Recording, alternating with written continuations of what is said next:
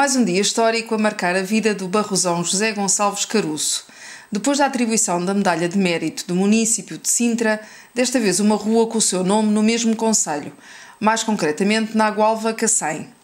José Gonçalves Caruso, empresário de sucesso no ramo da panificação, vê agora em vida o reconhecimento por parte do município de Sintra e da população da sua obra e de, no que diz respeito à solidariedade e bondade por todos, que de uma ou de outra maneira lhe bateram à porta a pedir ajuda.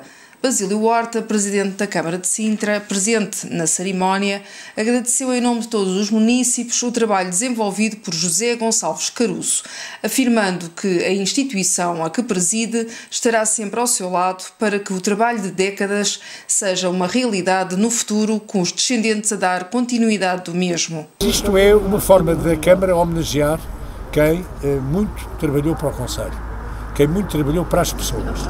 Sei que não, fosse só, não foi só aqui em Sintra, Montalegre também teve a sorte de ter o seu caroço a trabalhar, mas aqui em Sintra é a segunda ou terceira homenagem que lhe é prestada. A segunda que lhe é prestada, para além da medalha de ouro, é esta homenagem. E todas elas muito merecidas, porque quem investe em Sintra, quem cria emprego em Sintra, quem dá às famílias ordenado, que significa dignidade e poder de compra, quem pode e quem confia no nosso Conselho merece todas as homenagens. E merece que o Presidente da Câmara, em nome de todos os municípios, diga obrigado. Obrigado, Sr. Caruso, pelo seu trabalho. Continue. A Câmara de Sintra é amigo dos seus investidores, reconhece-os e quando tem a idade que o senhor tem, a sua vitalidade e sabendo que vai continuar a sua obra através dos seus filhos, nós ainda mais contentes ficamos. Conta com a Câmara Municipal. Muito obrigado veja sempre a Câmara não à sua frente nem atrás de si, ao seu lado, para o acompanhar, para o motivar, enfim, e para tirar do caminho os problemas que eventualmente tenha. Muito obrigado, desejo-lhe muita saúde, a si e à sua família e que goste por muito tempo esta ótima rua em frente da sua, da sua fábrica com os seus trabalhadores. Para nós, Câmara, é um grande prazer. Um grande abraço, um abraço a todos de solidariedade e de estima. Muito obrigado. José Gonçalves Caruso agradeceu a homenagem prestada à sua pessoa, prometendo manter a mesma postura que teve durante décadas passadas, ajudar a quem precisa. Quero agradecer ao Sr. Presidente da Junta e à sua equipe de trabalho a coragem que tiveram de propor à Câmara de Sintra a segunda homenagem e agradecer ao Sr. Presidente da Junta e a toda a sua variação favor que fizeram para acatar a ordem dele. Em meu nome e da minha família, Sr. Presidente, não, Sr. Presidente, desculpa, a todos um muito e muito obrigado. Enquanto eu for vivo, enquanto tiver sorte, sorte de saúde, sorte, nós também a fazemos. Vou continuar a ajudar. Aqueles que precisam mais que eu, que é o que tenho feito há 15 ou 16 anos para cá. Para chegar aqui a Rua José Gonçalves Caruso, há muita gente aqui que sabe que eu quando comecei com muita dificuldade, mas já ajudava dentro das minhas possibilidades aqueles que precisavam mais que eu. Continuei a fazer e vou continuar a fazer. Muito bem. Muito bem. É assim, para os atuais responsáveis em dar continuidade ao trabalho incitado por José Gonçalves Caruso e esposa já falecida, António e Fernando, seus filhos, expressaram orgulho com mais esta homenagem ao seu pai. É um dia que fica na memória de todos nós, é um orgulho fazer uma, uma festa desta uma pessoa viva, e destas festas já se faz aos mortos, é um orgulho. Ele ajuda muita gente, toda a gente gosta dele, e só só posso sentir orgulho de ter o pai que tenho. Quero fazer agradecimento às pessoas da Câmara, ao Presidente da Junta, a um amigo que foi Presidente da Junta, que é o Sebastião, que fez força para que isto acontecesse. O Presidente da Câmara disse, e é verdade, que é sempre muito difícil ou muito raro fazerem homenagens com as pessoas vivas. E eu acho que isso é que tem valor. Se nós damos valor a alguém, epá, deve-se reconhecer como vivo, porque o pouco tempo que nós cá andamos, um, ao menos as pessoas usufruírem daquilo que já ajudaram. E haver uma coisa qualquer que o façam e vai ser um bocadinho. Quer dizer, está bem que as pessoas podem dizer, é pá, um simples nome numa placa. Mas é um simples nome numa placa que para nós uh, soa muito. Ainda hoje estava de manhã a falar com um amigo meu e disse, olha, tenho que me despachar que hoje vai ser a cerimónia da, da atribuição de rua ao meu pai E ele disse, pá, o teu pai tem que ser uma pessoa muito importante. Sei, pá, eu não sei se é importante ou se não é. Agora, que é conhecido e que ajuda muito, eu sei. Portanto, é nesse, é, é nesse sentido que o vão, que o vão condecorar e, e, que a Câmara faz estas coisas. Portanto, agora estas coisas de ser importante ou não ser, é, é tudo muito relativo, como é óbvio. Não é? Agora ele aqui é importante, é muito conhecido aqui, ajuda muita gente, ajuda por instituições, é muito conhecido pelas instituições que ajuda. Uh, pronto, e é por aí, não haja dúvida, que foi uma festa bonita. Uh, epá, eu e meu irmão também estamos muito orgulhosos. Porque atrás de um grande homem está sempre uma grande mulher. Epá, infelizmente a minha mãe já faleceu há uns anos. Uh, foi aqui assim um golpe muito duro para toda a gente. Mas não haja dúvida, pronto, que o meu pai, sendo cabeça que anda à frente, tem sempre uma família, teve sempre a minha mãe que o apoiasse. E agora estou, está o meu irmão e eu aqui a apoiar, porque as coisas, ele sozinho já não consegue, já nem tem idade para isso também, todos os dias vem cá, é um facto mas ele sozinho já não conseguia tocar aqui o barco. Portanto, o barco está um bocado grande, eh, eu e o meu irmão já nos vemos atrapalhados e somos relativamente novos, não é? E de maneira que, pronto, ele está cá, nada, isto é feito tudo, tudo sempre em função das, das, três cabeças que aqui estão, mais a cabeça da minha mulher, portanto somos, um, somos aqui quatro gestores ao fim e ao cabo, quer dizer, ninguém aqui decide sozinho, uh, toda a gente fica a conhecer, toda a gente dá o seu palpite, e entre os quatro achamos sempre uma forma de ajudar mais ou menos eh, fazer as coisas e, até correr o próprio negócio. Portanto, ele já sozinho não consegue fazer isto, porque hoje em dia no mundo ninguém consegue fazer nada sozinho, mas não haja dúvida que o mérito é dele e depois, depois também tem cá uma família para o apoiar. Não é? E teve sempre a minha mãe que o, que o apoiou muito. Os amigos marcaram presença e deixaram o seu testemunho de gratidão e admiração. A Junta de Freguesia de Gralhas, terra natal do homenageado, juntou-se também a esta homenagem de José Gonçalves Caruso. Viemos aqui representante da Junta da Freguesia de Gralhas, representar o Sr. José Caruso, Gonçalves Caruso, que tem ajudado bastante a freguesia de Gralhas e é o senhor que merece. Muito satisfeito por ver aqui isto e ver que ele é um homem que ajuda bastante gente. Um homem super bom não dá a camisa porque tem que andar com camisa, senão até a camisa dava.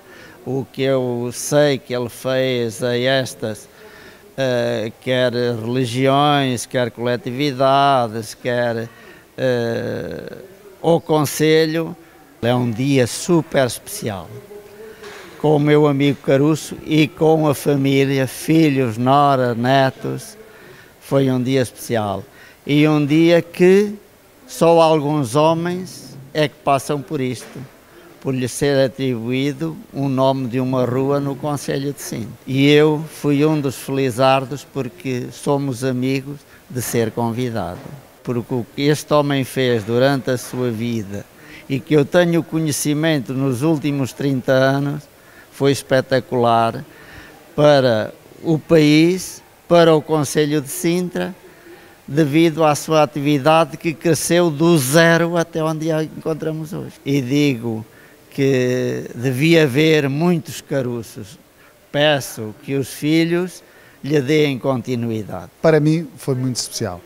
Um amigo do coração, tanto ele como a sua esposa que já faleceu.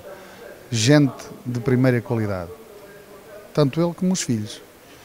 Uma empresa digna digna do seu nome, Caruso e Filhos Imitada. Ajuda toda a gente, daquilo que eu conheço, é 5 estrelas. Montalegre está de parabéns porque hoje em dia, hoje, neste, hoje eh, assistimos aqui a uma cerimónia muito bonita eh, com o Presidente da Câmara e o seu séquito, eh, mais de uma centena de pessoas a prestarem homenagem a um barrosão hoje por hoje é das pessoas mais ilustres do nosso Conselho de Montalegre. Eh, é a segunda homenagem que, a Câmara de Sintra lhe está a, a prestar, eh, porque antes o, o, antigo Presidente da Câmara, o, o Dr. Seabra, condecorou o, o José Francisco Caruso com a Medalha de Mérito Municipal e agora o Dr. Basílio Horta eh, eh, homenageia o, o nosso conterrâneo dando-lhe o nome de uma rua. Acho que isto que é importante e merece da parte de nós eh, um reconhecimento. Por isso eu fiquei muito satisfeito em ver aqui a Junta de Freguesia de Gralhas, que é a Junta da Terra da Naturalidade do, do Caruço, e, e outros amigos, e outros amigos presentes, que me deram muita satisfação ver aqui, porque este homem merece. É um homem simples, foi um homem que, eh, de uma família muito modesta de Gralhas, que eh, saiu de Gralhas para se ingrar na vida noutros países, veio cair aqui no Cacém e é hoje por hoje uma pessoa eh, muito conceituada e tão conceituada que lhe prestam esta grande homenagem. Foi realmente uma coisa que nos deixou orgulhosos e parabéns Montalegre. Uh, nós todos nos sentimos orgulhosos e estamos também de parabéns. Basílio Horta saudou José Gonçalves Caruso pelo sucesso empresarial, disponibilizando da parte do município a qual preside todo o apoio. É uma homenagem a um homem que muito fez para esta terra e o que significa muito fazer é investir, é criar emprego é dar dignidade às pessoas, é dar-lhe poder de compra. O Sr. Caruso é um homem que merece esta homenagem. Os nossos empresários todos merecem essa homenagem. Quem arrisca no Conselho de Sintra, quem investe o seu dinheiro aqui, fazendo empresas, criando lugares, é um amigo de Sintra. E quem o faz, como o Sr. Caruso fez, há muitos anos, repartindo o que tem, fazendo uma grande e moderna empresa, merece duas homenagens, a medalha e a rua. Isto é um exemplo para os nossos empresários todos. Quando, quando homenageamos o Sr. Caruso, estamos, de certa forma, a homenagear o tecido empresarial de Sintra. As mulheres e os homens que investem aqui, que arriscam o seu dinheiro aqui e que merecem da Câmara toda a consideração, todo o respeito e todo o apoio. José Gonçalves Caruso, visivelmente emocionado e satisfeito com mais uma homenagem, referiu. É o terceiro dia grande da minha vida. Três homenagens duas da Câmara de Sintra e uma de Montalegre. De maneira que estou satisfeito, contente, que não vejo fazer estas pessoas ricas, estas pessoas ricas não vejo fazer uma coisa dessas. E quem é que não fica contente? Eu nunca pensei, há 30 anos, há 29 anos que vim para aqui, nunca pensei nem na rua, nem que eu chegasse à rua José Gonçalves Caruso, porque eu comecei com muita dificuldade. Tive muitos problemas para chegar aqui e nunca pensei em nada disso.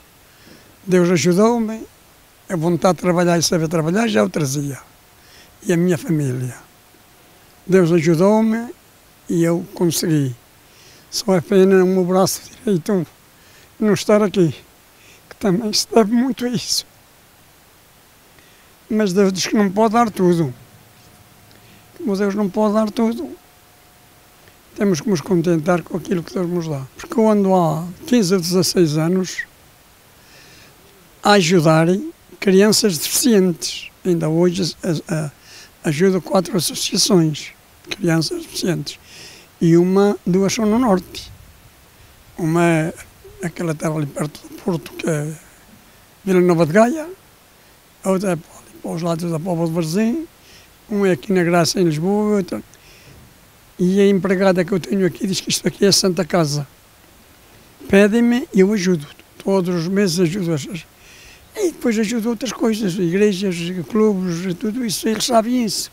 É como sabem isso, entenderam que foi o que ele disse ali, olhando à firma que a gente tem, aos empregados que tem, ao movimento que faz, e eles entendem que, que, que são merecedores disso. Ou para mim, particular, sou. Eles, para eles também entendem isso e, e fazem aquilo que eles têm na ideia, porque eu não peço nada a ninguém. Mas como tudo começou, perguntamos. Eu nasci muito rico em Gralhas.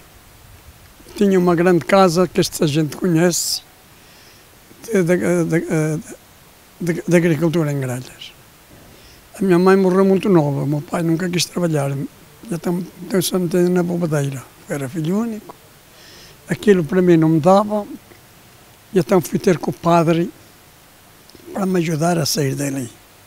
Tinha eu 18 anos ou 19. E o padre disse-me que tens que fazer a tropa primeiro e depois, quando seja a tropa, vem ter comigo.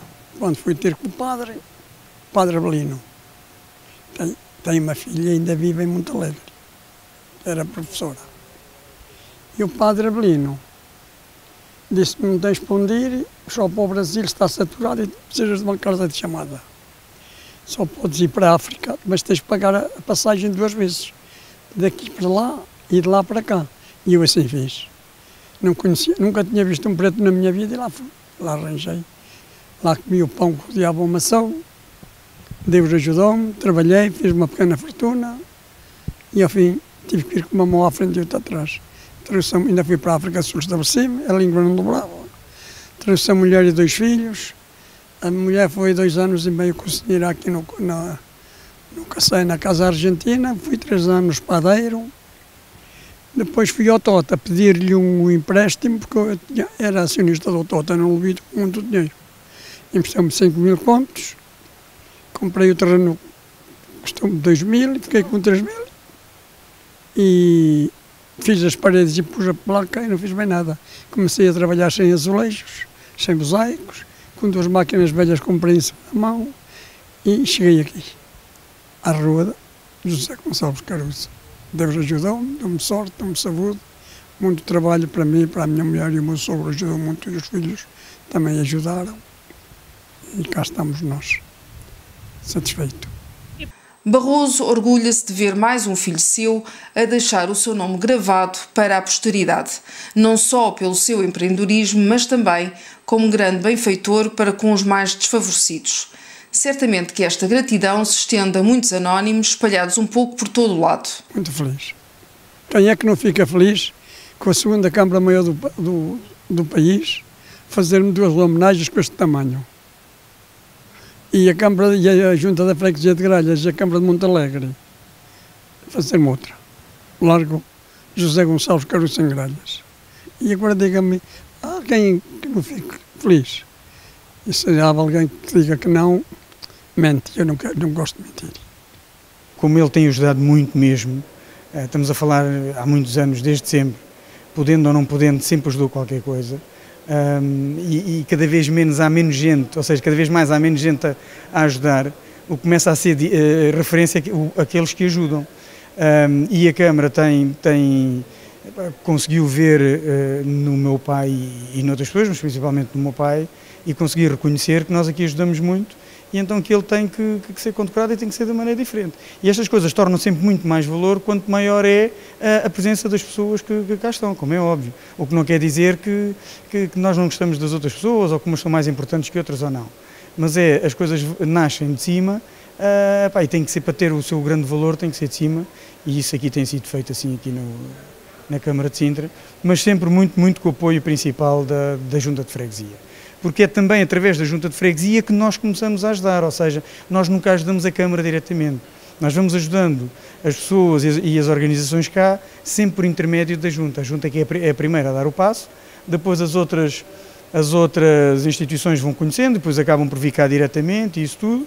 Pronto, e a Câmara está atenta e vai vendo que efetivamente as coisas funcionam assim. É? Sempre foi um grande trabalhador lá também, tinha uma padaria e nós estudámos a 600, 700 km num colégio interno para padres. Ele queria, o, o orgulho dele era que o filho fosse padre, mas acho que aí nenhum quis seguir as pisadas de padre. Ele há bocado teve uma expressão muito gira que foi já pode morrer descansado, que o nome dele fica acaba muito tempo. Portanto, estamos muito felizes todos.